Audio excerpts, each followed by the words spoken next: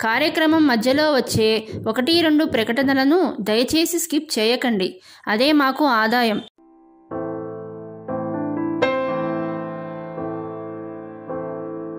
మతంగముని సంపూజ్యాం మతంగ కులభూషణాం.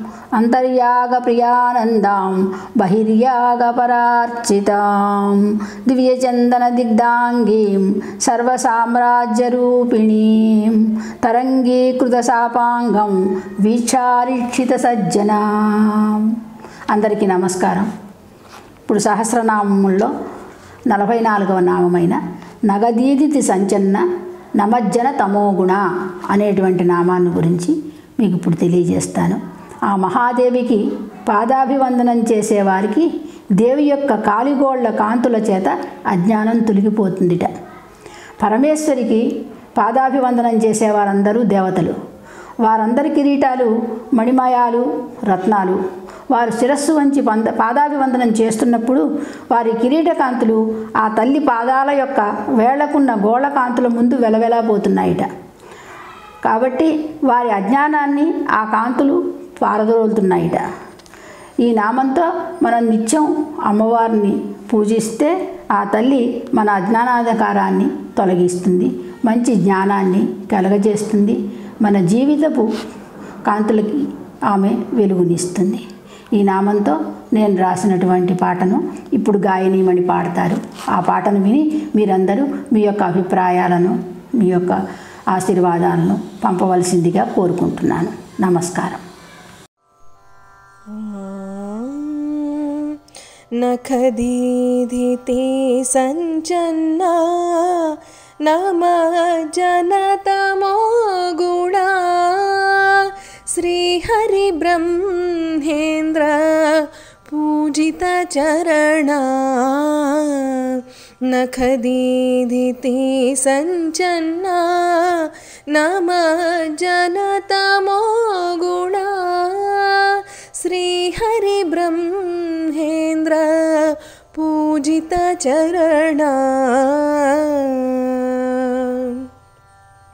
निरुपमानगुण सर्वाभरणा। ह्रीङ्कारलक्षण हरिणे क्षणा। निरुपमानगुण सर्वाभरणा। ह्रीङ्कारलक्षण हरिणे क्षणा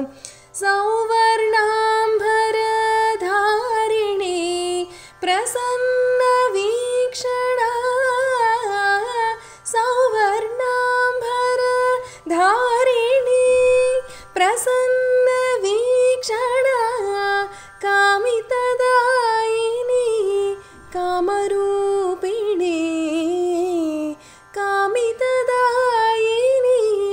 कामरूपिणी नखदीदिति सञ्चन्ना नमः जनतमो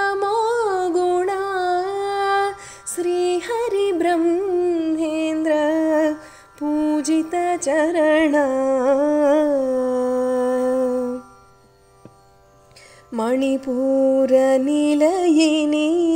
सूक्ष्मरूपिणी लीलाविनोदिनी सर्वविमोहिनी मणिपूरनिलयिनी सूक्ष्मरूपिणी लीलाविनोदिनी सर्वविमोहिनी तन्त्रमन्त्रविशेषज्ञा निर्गुणा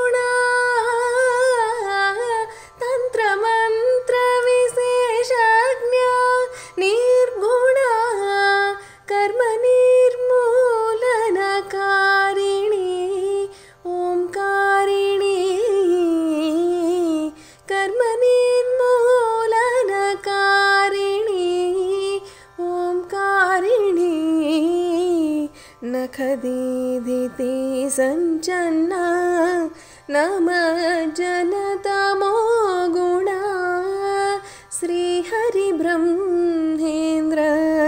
पूजितचरणा